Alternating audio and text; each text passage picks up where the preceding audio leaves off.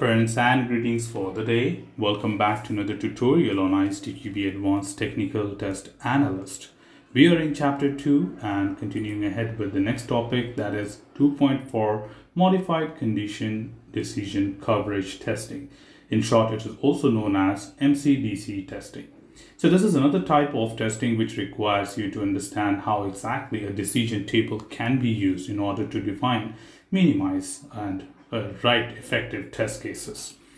So the very first thing here is to understand a little bit of theoretical concept with respect to MCDC. When compared to decision testing, which considers the entire decision as a whole and evaluates the true and false outcomes in separate test cases, MC and DC testing considers how a decision is made when it includes multiple conditions. So generally here, what we are trying to understand is when it comes to MCDC, a particular given scenario with multiple conditions may require different types of uh, scenarios and not all the scenarios may be required at any point of time to be executed for entire scenario. So thus, using MCDC concept, you actually try to reduce your efforts in order to identify the minimum test cases to have maximum or 100% coverage of that scenario. How we will have, how we will be able to do that and uh, what will be the approach to that, that is what we will be trying to understand here. There's a lot more to explore in theoretical way to understand more about MCDC. But as it is a evaluation based concept, we will try to prefer to have an example and understand more about the same. So here is an example which I'm considering to make you understand in order to explore what exactly the outcome can be. So here is a scenario where I'm talking about considering a condition with certain gates where you see we have A and B or C. So here the double ampersand represents a AND gate and a straight line that is a bar represents the OR gate. So that means the right side table can be very well understood with respect to this particular scenario. And when it comes to uh, applying the technique, it is really important to identify out of these eight test cases where we have eight possible combinations of these three conditions we need to identify those conditions which we should select in order to minimize our test cases but have 100% coverage on the scenario. So the first and very first important thing is that what will be the outcome, how you decide on that. So the gates are provided to you deciding the outcomes of these conditions. So it says that A and and either B or C must be true in order to have the outcome as true. So A is mandatory where B or C, any one can be true in order to get the true outcome. So that's how the table is actually created. And uh, you know this from the basics and foundation as well. So you should not have any issues understanding the same.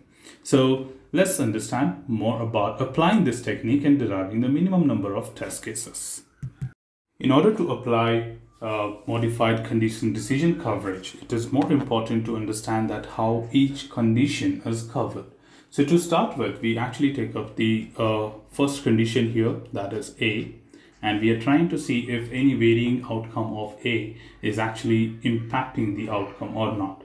So any input here, if it is flipped or changed, for example, if it is true, it has an outcome, and if it case in it, it is false, then it has a different outcome, then we consider those tests. For example, let's consider the test 1, where you see that all three tests are true and the outcome is also true. Now let's figure out which one of the other tests is having a flip on the condition A and has a different output. So if we compare with test number 5, you see that there is a different outcome if A is flipped. So here A is otherwise false and B and C remains true, thus the outcome is false.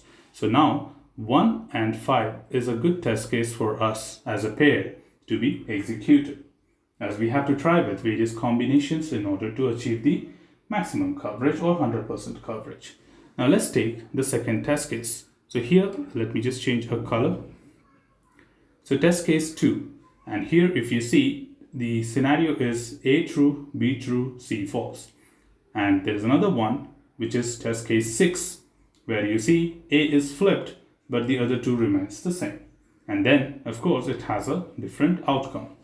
So thus you have 2 and 6 also a good pair where the outcome is actually different. When you talk about, again, a next scenario, where uh, if you try to consider test case number 3 and you see that, okay, let me just pick up another color here.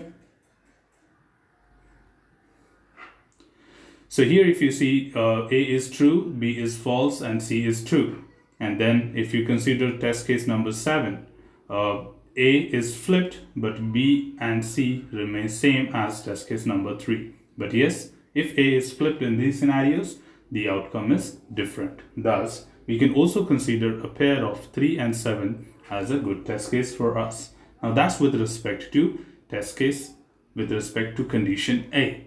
If condition is flipped, the outcome also flips. And this is how you identify the pair of test cases which might be a good combination in order to execute a test. Now let's move to the next condition that is B. Similarly, just like A, we have to try and see if the order of B is flipped or the input of B is flipped. Does that impact an outcome? And that is how you select a good pair of test cases. Now again, to start with, let's take up the test case 1 where you see all three are true then the outcome is true.